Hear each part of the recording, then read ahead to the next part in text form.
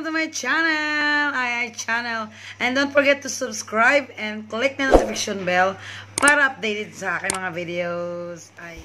Hello guys, dito naman tayo sa aking tutorial.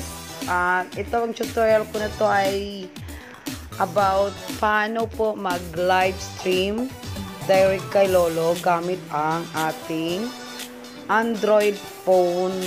Ayan, ito na po, ayan, magta-type na po tayo ng www www.youtube ayan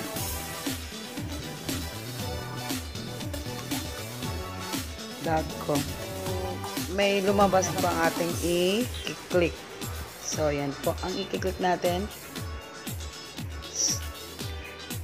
makikita nyo ganyan po ang ating YouTube lalabas pero para magiging desktop site siya, i-click natin ang tatlong tuldok. Ayan, i-click natin yan. Then, may lalabas po na desktop site. Ayan, yung yung blank na yan, yung i-click nyo yan. Ayan, lumabas na siya as a computer. Tapos, click natin ang ating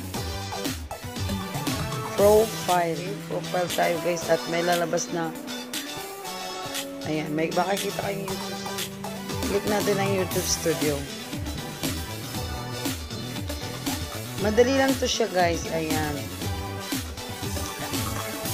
Nakita niyo. Ayan, nakita niyo yan. Yan ang stream. I-zoom natin yan. Click na. Click. Kita niyo go for live na siya wait lang natin guys ha, kasi net. Ayan, ito yung lalabas. Yan yung lalabas. Ito susulatan nyo create. Then public nyo yan. And then yan i-check nyo yan. Not it's no it's not then i-click nyo yan. More option na yan. Then pwede kayo bumalik kung pwede din hindi nyo i-click yan. Kailangan po nandyan nakalagay sa webcam kasi ah uh, wala po tayong gagamitin ibang mga ibang party na yan. Basta isang ito lang, webcam lang. Basta yan lang. Pwede na i-click ang next pag-post na yan.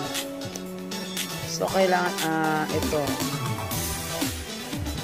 Tutorial. Eh, kunwari tutorial na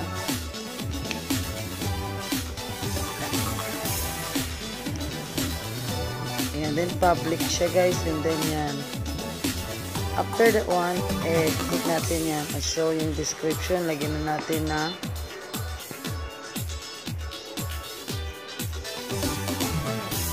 tutorial. It's up to you kung ilan yung ilalagay nyo, guys. Ayan. So, next natin. Next. So, yan, guys. Next natin. And next natin yan. So,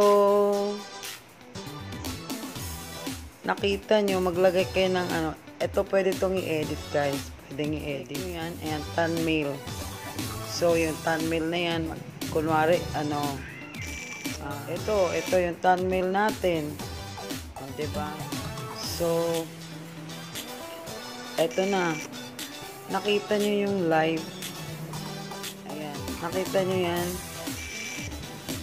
So, pag kinlik nyo to, Live na po yan. So, yan po ang ating tutorial for today. And then, until next video po, until next tutorial, ayan, magiging, mag, magmarunong na po tayo magla-live, ayan. So, thank you po sa mga nanonood po dyan. Until next tutorial, God bless you and thank you for watching. Love you all.